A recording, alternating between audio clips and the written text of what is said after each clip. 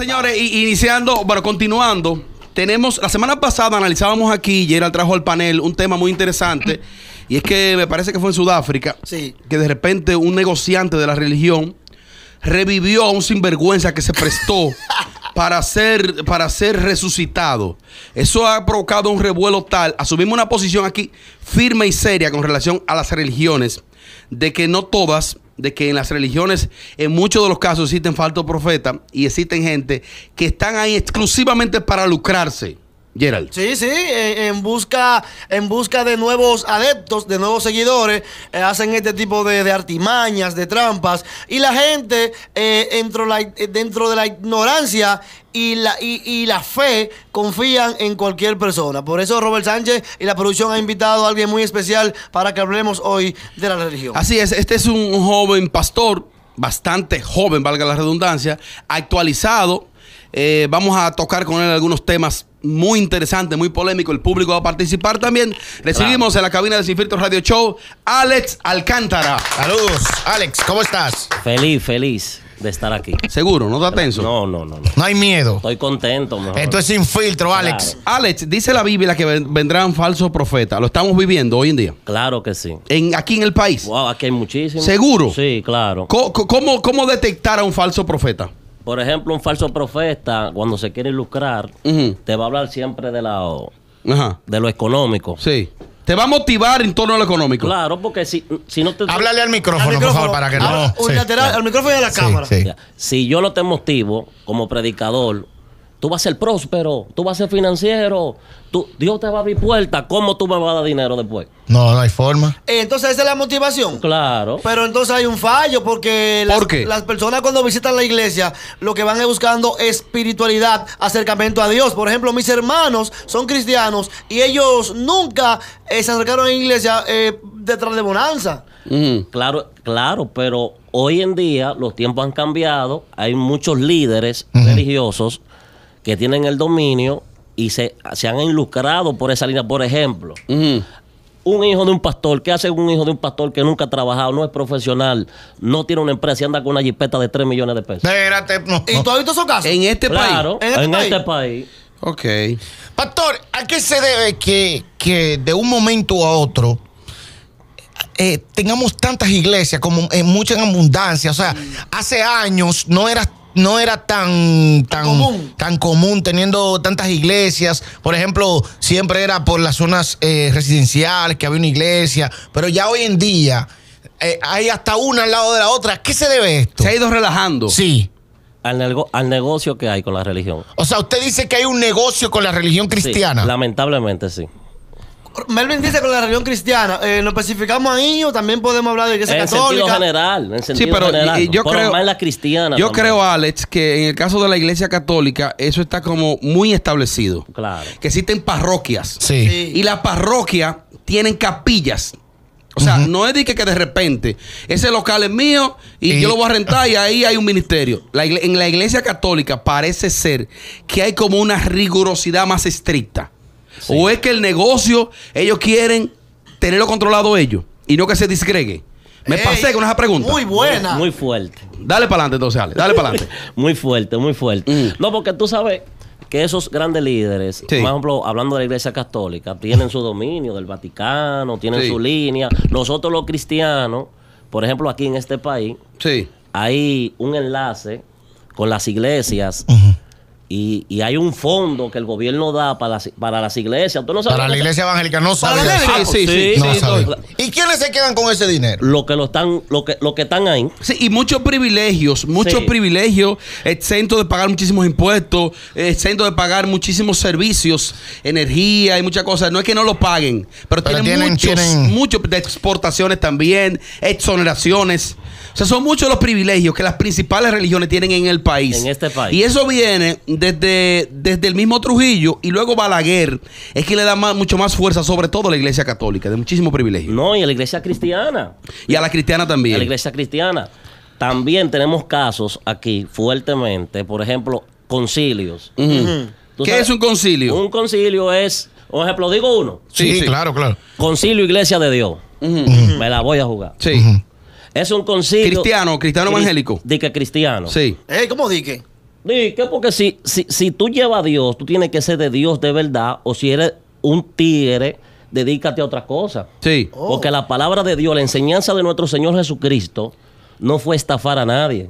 ¿Y qué usted dice entonces de ese concilio? Ese concilio, iglesia de Dios, por ejemplo, tú quieres ser pastor, Ajá. ellos te aprueban. Ujú. Tú comienzaste en tu casa, Ujú. de repente construiste y de todo. ¿Tú sabes qué hace el concilio? ¿Qué? Te quita de ahí, ¿Qué me quita de dónde? Después del punto hecho ya. después del punto hecho. O sea, oye, oye, ¿qué es lo que dice Alex? ¿Cómo va a ser? De repente Melvin dice, ok, ahora Yo yo, le voy a rentar pastor. Y este se local. quedan con la propiedad. A este local que es de Eduardo Familia, Eduardo te lo renta. Exacto. Tú armas un ministerio ahí, ya creas un, un- un- un punto material y de asistencia. Cuando ya es una realidad el negocio, te sacan. Te sacan. Ah, pero es una estafa, pues sí. ¿Y qué es esto? ¿Y es como, es como una franquicia entonces? No, y te voy a decir algo más fuerte todavía. ¿Qué? Y se quedan con propiedades millonarias. Porque hay pastores que con sus hermanos se fajan en la iglesia, la construyen, la ponen bonita. ¿Tú sabes qué hace? ¿Qué? Se cambian de iglesia. Los pastores dicen, yo quiero ir a la iglesia de, De Gerald. de Yera. La iglesia de Yera está facturando tanto mensual. Oh, Y yo que estoy en el concilio, que soy el jefe, digo, Yera, su- te estamos necesitando en Guachupita ahora. Pero es mentira. O sea, Pero es te, mentira, te pero- trasladan. Yo arranco para allá Eh, y, me- y meto el mío. para que se busque. Exactamente. Ale, se supone que ese dinero viene del diezmo. Y de muchas cosas más. ¿Cómo- pregunta- ¿Cómo cuáles? Las ofrendas. No más. No ¿Dónde- más. No, pero vamos No, a no, hablar aquí sin filtro. claro. ¿Y, y tú asustado? ¿Dónde está el dinero grueso de la iglesia? Porque ofrenda de 10 pesos o de mil, de lo que sea, no va a ser suma cuantiosa. Pero, ¿Dónde está el dinero te, de la Te iglesia? estoy diciendo, no hay ayuda. Ah. Y hay Esa- muchos privilegios también, muchas muchos privilegios. Y ellos que tienen su organización, por ejemplo, yo tengo un caso reciente con ese mismo concilio de pastores que están hasta frustrados. ¿Por qué? Porque, por ejemplo, Yera, tú que te dedicas a levantar una iglesia con tú y tu familia, y después que tú estás anciano, te pensionan di que con 7 mil pesos, pero 7 mil pesos no, ni un motor consume eso de gasolina. Wow. Después que tú te fajaste en un ministerio, o sea, no es un negocio. Es un negocio. Es un negocio. Digo, sí, así como usted dice. Y, y ellos, si ven este programa, me pueden llamar. Yo pertenecía a ellos. Sí.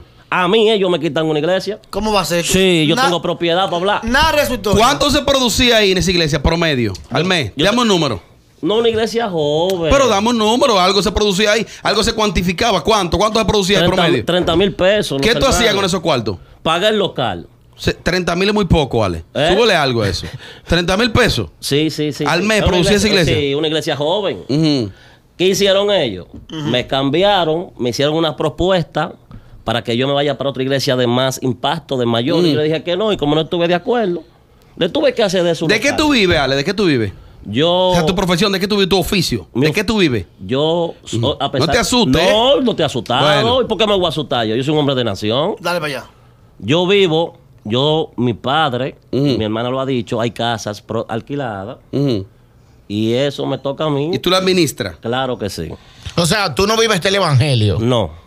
Pero, pero si tú trabajas para el, porque donde tengo eh, entendido, el trabajo del pastor es la iglesia y debe tener un, una, Una un- remuneración. una remuneración económica que es una mensualidad que se, se asigna. ¿En la, en la iglesia cristiana? Sí, claro, porque ese es tu trabajo, Robert Sánchez. Sí, es verdad. O sea, tú, por ejemplo, un, un- No, debe existir un desprendimiento total. esa Yo no aceptaría un No, peso siendo no, no, pastor no. Robert, no, nada. Robert, no, por Porque ejemplo. Dios me quemaría No, la no, mano. no, por eso no me no, dedico no. a eso. Porque, por si ejemplo- me dedicaría a eso, yo fuera el mejor. Robert, no, escúchame. No es en serio te lo hay estoy ser diciendo. sincero. No, mira, no, no, no, no, no, no, Robert Yo no bueno, aceptar un Robert peso. en Un hermano vaina. de la iglesia te llama a ti a las 3 de la mañana que vaya a orar por una gente. Ese es tu trabajo, mi hermano. Sí. O sea, yo estoy de acuerdo con que tenga una remuneración económica, pero no que se den los lujos que se dan muchos pastores. Unos relojes carísimos. Pero acá. Unos trajes. Reloj Rolex. Unos trajes que ustedes no se lo ponen. No, pues no hay cómo. Y con una, con una caravana de seguridad. ¿Cómo seguridad? Espérate. Ah, pues, un pastor no puede tener seguridad. eh, No. pues consígame a Amelia. Dígale que venga acá, No por favor. puede ser porque un pastor está cubierto por el manto de Dios. Ah, ah, el manto de Dios. Ellos están cubiertos con la pistola que tienen en la cintura. No, Eh, no, espérate, eh. no, no, no. Eh, Y un Ey, pastor Venga acá. ¿Por qué la gente cuestiona mucho a, a Marcos Yaroide? ¿Por qué la gente dice como que Marcos es más artista que, que pastor como tal? ¿Tú conoces a Marcos? ¿Qué Sí, pasa ahí? yo lo ¿Por qué lo cuestionan tanto? Tú sabes que en este país todo lo cuestionan. Pero Marco es uno de los pastores que tenemos con más transparencia. Él tiene, él Por- tiene cielos mí- abiertos. Sí, Sí. cielos abiertos. Sí. Me, me dicen a mí que él, su finanza, lo que entra, dice, entró tanto. Sí, sí. Qué bien. esto tanto, Sí. que no lo hace ningún pastor Mira, aquí en este país. Robert. E- Ese es un ministerio medio farandulero. No, no ¿Qué es tiene? farandulero, no, es real. Yo, Es real. Sí, real. No, no, que real. me dicen, yo no- Mira, no, y tú sabes qué, perdón que te interrumpa, para, eh, eh, de- eh, o sea, co- colaborar contigo. Y también Marcos es un, un pastor que aparte de es artista Sí. y, él, y él tiene mucha demanda Genera. fuera del país. Él genera mucho dinero Sí. como Sí, artista. eso- eso y no así. creo que tenga necesidad de hacer Eso, nada más. yo, hecho. yo No. creo en Marcos Yaroide. Mira, eh, decirle al público que Alex es hermano de Amelia Alcántara, hermano de padre y madre de sangre. No desinforme Eh, que con tu chiste, no desinforme que la gente va a creer que es verdad. No, es en serio. Porque se ha apellido son No, hermanos. son hermanos. Eh, de hecho, Amelia, ven, intégrate Pero. Amelia, Amelia. Amelia, Amelia, Amelia salió, Amelia. salió un minuto por un compromiso que tenía fuera de la cabina. Eh, Amelia y Alex son hermanos. ¿Qué tal la relación de ustedes? ¿En Eh, serio? Alex, Amelia, ¿qué tal la relación? Bien. Bien, sí. ¿Cuántos hermanos son ustedes? Somos cinco Mm. y de los cinco lo que mejor nos llevamos es él porque es el único varón y de los cinco él y yo que somos padres, eh, somos hermanos de padre y madre. La gente preguntaba ahí vía las redes sociales eh, hace unos minutos, pero ese no es el hermano de Amelia. Y que cómo ustedes tienen vidas como tan distintas, tan separadas. O sea, ¿cómo, cómo es que él es entregado 100% al, al- al- a la religión? Y en el caso tuyo, Amelia, champañeo. No, no, no, que, que cómo es eso. No, Cuenta de 300 mil. Mira lo que Sí. pasa. Eh, él me respeta mi espacio como yo también le respeto el de él. Excelente. Incluso él es una persona que tiene mucho conocimiento de la palabra Sí. y él sabe que Dios escogió a lo más despreciado. A los vil menospreciados que cogió Dios para manifestar Para hacer su obra. Su obra, como lo está haciendo con este programa. Eso es muy bien, muy bien, muy bien. Eh, ¿Tú sabes que una vez pasó algo similar con Aquiles Correa y su hermano? Cuando Correa puso el primer a beber donde Correa en Villa Consuelo, el hermano de él es pastor. Ajá. Y cada vez que Correa abría el negocio, él se aparecía allá toda la noche. ¡Arrepiéntense! Al negocio. ¡Dejen de estar bebiendo romo! ¡Busquen de Dios! Y entonces. Entonces Correa un día se paró frente a la iglesia y le dijo: ¡No den ofrenda! ¡No crean en nadie! Ya lo respetó. Lo- ¿Ya? Alex, en tu caso, eh, que Amelia explicaba muy bien que la relación es excelente, Sí. ya que cada quien respeta eh, su vida a, a nivel particular. Pero tú no has tratado de, de- de- de que Amelia incursione en el cristianismo. No, porque es que, un ejemplo. Ella no asiste a nada. Usted no va a ningún culpa a ella- nada, ella- Amelia. Ella ha ido conmigo a predicar a eventos. Em, Amelia predicando. No, no, yo, yo Ah. acompañándome a mí. Ah, perfecto. ¿Y tú no has tratado de que Amelia se involucre más? No, porque los corazones los conoce Dios. Y Dios está por encima de la religión y por encima. ¿No será que es una tareita media difícil esa? Es- Pone a Amelia en esos caminos. Yo he orado mucho por ella. Ah, pero mira, Yo- el hermano, atención, para el hermano de Amelia ora por ella bueno, todos te digo los una días. cosa, yo he llegado de madrugada y él está de rodillas en la sala. Y tú de rodillas por ahí, eh, eh, eh, Oye, No, no, no, suave, suave, suave. Suave, suave. pidiéndole a Dios. No, suave. Ella, de rodillas pidiéndole al Señor. Ajá. Pero no al Señor Dios. Ajá. Al Señor dueño de. ¿Eh? Pero eh, tú entiendes, Amelia, tú no descartas, tú no descartas que en un futuro quizás no muy lejano, tú, tú te congregues. mira, para nada.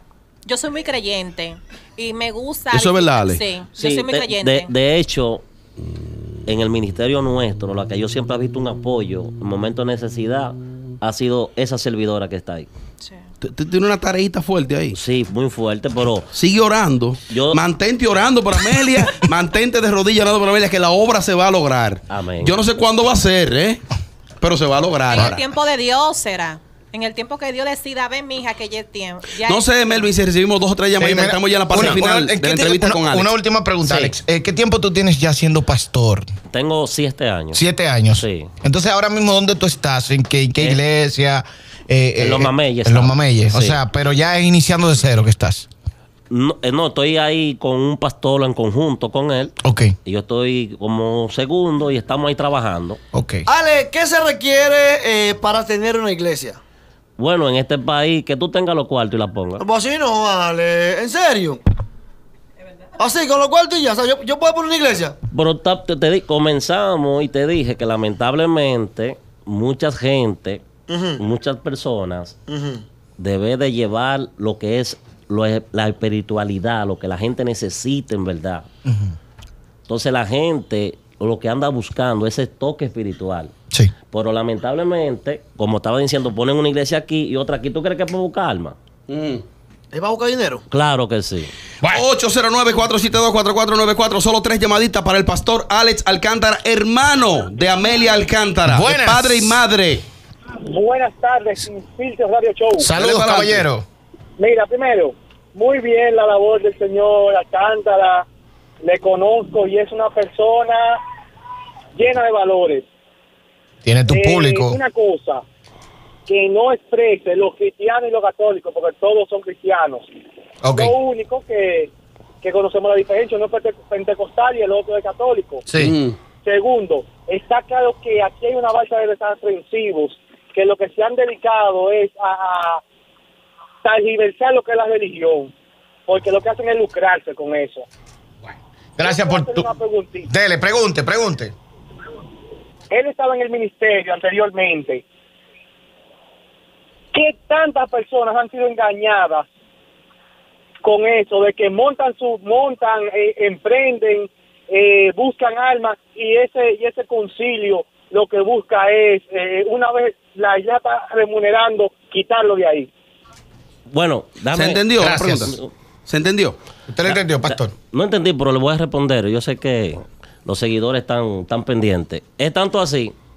Ellos hacen votaciones para ver quién va a ser líder, de que lo vi, porque va a estar dirigiendo en el país. En las votaciones. Eso yo- es la iglesia eh, evangélica cristiana. cristiana. El Sí. Concilio Iglesia de Dios, ahora mismo, que de ese yo estoy hablando. Sí. Que son, hay varios más ministerios, pero arranqué. Sí, ese específicamente. Exactamente. En las votaciones se te ofrece dinero, posición y que busque un grupito para poner ayer. Ah, pero es una política Sí, sucia, sucia. y barata que se está utilizando ahí. Y te voy a decir algo más fuerte. Señores, pues eso es lo que de pena. Y todos los meses se hace un evento que hay que pagar, un encuentro, por ejemplo. Yo tengo un campamento en un lugar. Hay que pagar un peaje. Un peaje, dos mil pesos un encuentro y que dos Sí. días para allá. Pues ya tú sabes, un encuentro de dos mil, de dos mil pesos. 200 gente, ¿cuántos son? No, pero estamos hablando ahí de dos De dos millones, de pesos. Por eso es mensual, porque hay, aquí en este país ellos tienen más de 300, 400 iglesias. Pastor, ¿ha recibido usted oferta de, de- de gente que se acerca a su iglesia como para hacer trucos, de que revivieron una gente, de que un paralítico? ¿Le han hecho ese tipo de propuestas para estafar? Para, para hacer esa. ¿O usted tiene conocimiento barato. de alguna, de alguna iglesia que lo haga? No, yo sí tengo conocimiento de una iglesia. Aquí hubo una iglesia muy famosa. Que se prestó a eso. se prestó algo diferente. Oye, Ajá. que hizo, ¿Qué hizo? buscó como un, un material que se parecía a oro. Ajá. Y lo puso debajo de, que de, de, la- de los, De los asientos. los. Y comenzó de que orar. Ustedes van a ver una evidencia de Dios, gloria. Cogió un trapo como con varios cositas de eso y cuando lo movió, Sí. comenzó a caer cosas y la gente Ay, hombre. jugando con la Tú emoción. sabes que yo quiero pedirle a Dios, Ale, por mi parte, Sí. que Dios mande fuego y que prenda en candela a todos esos delincuentes que se están lucrando de la religión. Y Que Dios mande fuego y que se prendan en candela sin excepción. Porque que no es posible que, que- que se aprovechen de la ignorancia de un pueblo. Sí. De que la gente debe saber que la primera relación debe ser directa con Dios, que es lo que creo. Porque no está mal que te congregues. Exactamente. Pero que estos delincuentes que se están lucrando, Sí. Dios mío. Tanta gente buena que se mueren. Llévate 25 mil todos los días para salir de eso. Diario 25 mil, 25 mil, Claro. 25 mil, para que tú veas. Pero no, no tanto eso, yo tengo un amigo mío personal que en una de esas reuniones, Mm. Sí. emocionado dio su carro. ¿Qué? Porque te dicen que si tú das esto, Que, te, que sea desprendido exactamente. para que hacer la obra. Claro, y Dios va a recibir ese carro, lo recibe el pastor. Yo voy a, si tú Ey. vas a mi iglesia y tienes un carro, lo recibo yo, no es Dios. ¿Es verdad? Ven acá, si Amelia está, por ejemplo, en una de las discos Tigres de ahí de la Venezuela y te invita, tú cruz y te da un trago. Yo bebo, yo me bebo mi vino. Yo bebo mi ¿Cómo vino que normal, bebe? mi vino. No, pero ven acá. Pero ven acá. Yo me esto está sin dando un filtro. tufo. Yo conozco va- varios pastores que, que toman vino. Toma, yo Pero bebo solo vino. Solo vino. Vino Pastor. y vino. Pastor, pastor, le aceptamos que tome. ¿Qué tú quieres? Que te venga a hablar mentira. No, la verdad, la Pastor, le verdad. aceptamos que tome vino, pero de ahí a entrar a una discoteca, a tomárselo ahí. No, yo no he ido. Yo no voy a ¿Pero se discoteca. atrevería ahí? Si yo voy, entro, yo tengo identidad. Yo no tengo problema. Por ejemplo, si- si a mi hermana Amelia tiene una reunión con ustedes Mm. y tengo un compartir. El ¿qué me- aniversario, El aniversario. ¿Qué, me- qué me impide yo estar ahí? Y si Amelia, te, bailar y prese- brincar? y si Amelia te presenta para la amiga y te lleva para los Me yates. enamoro, yo soy un hombre No, soltero. pero señor.